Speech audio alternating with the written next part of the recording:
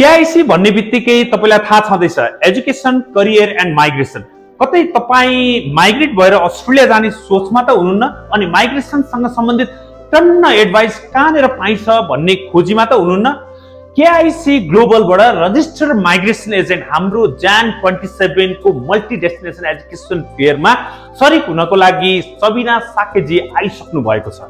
हाम्रो एउटै फ्यामिलीबाट नेपालदेखि अस्ट्रेलियासम्म यदि स्टुडेन्ट भिजाको अप्सन अथवा विकल्पको खोजीमा हुनुहुन्छ र माइग्रेसनको लागि तपाईँ इलिजिबल हुनुहुन्छ या हुनुहुन्न भन्नको लागि र त्यसको एलिजिबिलिटीको लागि चेक गर्न तपाईँ चाहनुहुन्छ भने ज्यान ट्वेन्टी सेभेनमा माइग्रेसनसँग सम्बन्धित पनि मनकै इन्फर्मेसन तपाईँले लिन सक्नुहुन्छ। यस ज्यान ट्वेन्टी सेभेन केआइसी एभिन्यू लालुपाते मार्ग दस बजीदेखि पाँच बजीसम्म माइग्रेसन अस्ट्रेलिया माइग्रेसनसँग सम्बन्धित एडभाइस लिनको लागि यदि तपाईँ रजिस्टर्ड माइग्रेसन एजेन्ट सबिना साक्यजीलाई भेट्न चाहनुहुन्छ भने आउन सक्नुहुन्छ। आउने होइन त।